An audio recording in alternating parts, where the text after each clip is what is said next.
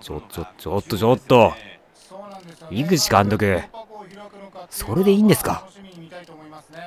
こんなさみんなヒーヒー言ってさちょっと監督違和感ありますって言ってる選手が4人もいるのに田村は腰かな？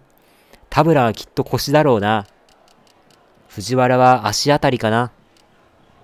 どこかな？な？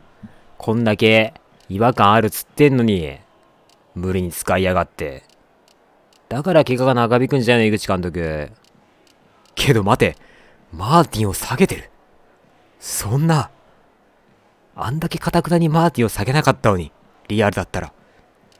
なんて柔軟なんだ。このプロスペ井口監督は。マーティンを下げてるなんて。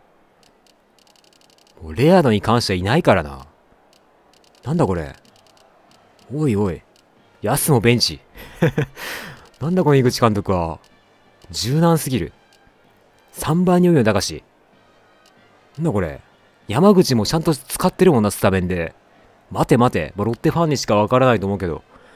ロッテファンは多分今、うんうんって思ってるけど。山口もスタメンで使うわ。マーティンは下げるわ。安も迷うことなくスタメンから下げて。荻野隆は3倍に置いて。平沢は使う。池田くんは使う。なんだこれ。違和感を覚えてる選手は使う。真逆の井口だ。